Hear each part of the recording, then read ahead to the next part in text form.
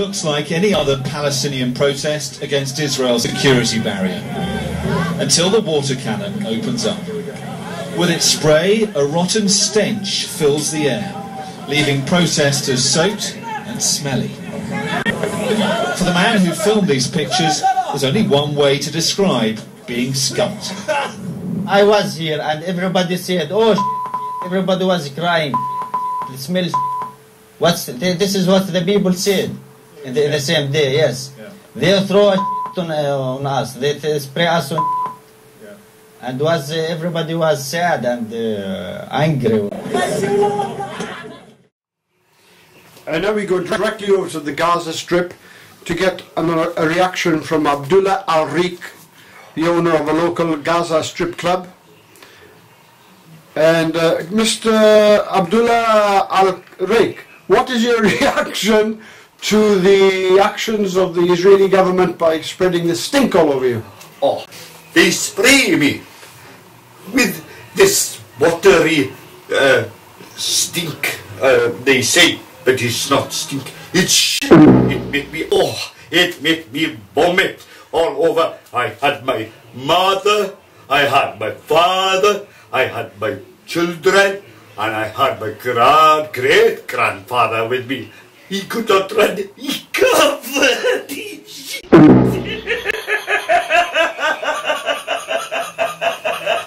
he covered in shit. I had to go back and help him. And he cannot walk. He walked like this. And then he walked like that.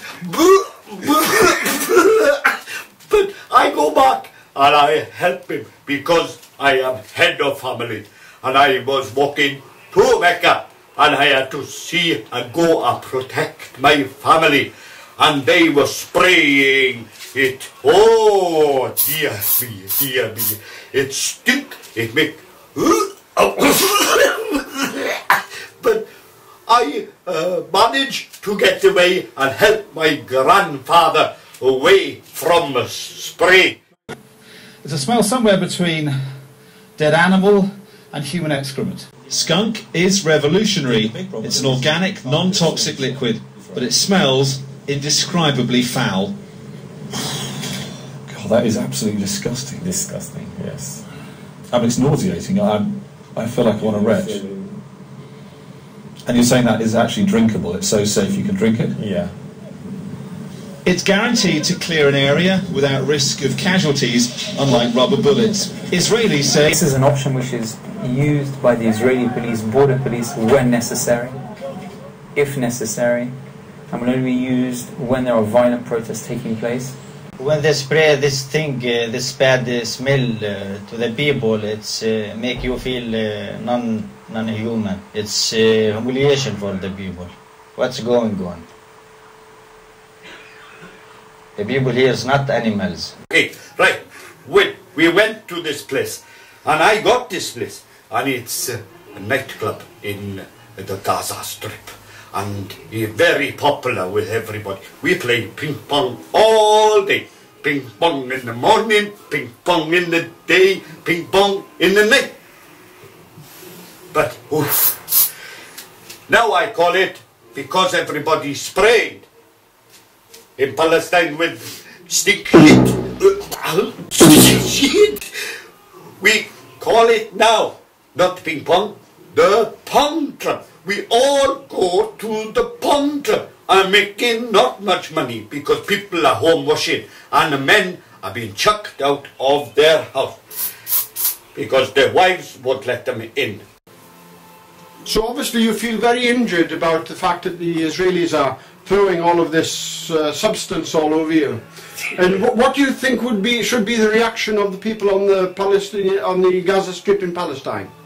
Well, I think we've got something to fight back with because we all come together. The whole tribe have come together. We collect camel shit, donkey shit, horse shit, but not many horses here today. Only camel and donkey shit. We collect more shit. We collect shit from everywhere. Dog shit, chicken shit, pig shit. And goat shit? Goat shit as well. We can find it the trees. trees. I don't. it's everywhere. We collect all the shit, whole village. We collect shit in big time. And next time we go up, we counter attack they do their chemical shit and shit all over shit in my ears, shit up my nose, shit in my eyes, shit in my hair, shit everywhere, my feet, and everybody, and shit and what, vomit everywhere. But we gotta counter shit. We gonna sit round big bucket of shit till we get used to smell. I smell of shit. I remember the lot of shit, big shit. And when we get used to smell, uh, smelling the shit, we can go up and we can pelt and throw shit all day back. They can spread. Uh, we be used to shit. But until we get used to shit, we don't do much more until we got big, big buckets full of shit. And then we shit. All ships. All ships. All say big shit, small shit, wet shit, slippery shit, smelly shit, yellow shit, all shit. Shit, shit, shit. We all eat things to make us shit in big bucket and we take it with us and we throw shit back and they will be shouting at us, you dirty bastard, you dirty bastard. But we don't like having shit from shit and shit and shit, spray shit everywhere. It, but we'd rather be shot, we'd rather be shot by a bullet than sprayed with shit, because shit smell for six weeks. They spray us with shit. They chase us away, but we, they don't. They don't chase us away. We run away from each other because we all stink. And we are wretched. We're making big pun. They come after us. Dogs will smell anything. But when you're covered in shit, you got no hope. They find us in the little cave, in the kazi. They find us everywhere. We hide under the bed. We hide in the stable. We hide in with the camels. They find us. And if they put the dye in the shit as well, in the liquid, they will be able to smell us and see us. Then they shoot us. And then there be end of terrorists. That's my last word. I have got to go and vomit. I Well, that's been the reaction on the Gaza Strip. I tell you what, what these people are complaining about is absolutely true. The stench here is unbelievable, and the anger of the people is something to be seen. I think that the problem, the uprisings on the Palestinian Strip, on the Gaza Strip, is very shortly going to end because I understand that in the supermarket they've run out of air fresheners and lettuces and cabbages. Nobody can fan themselves, and there's thousands and thousands of flies everywhere. So, Alistair, back to you in the studio. There's another fly. They're fucking everywhere.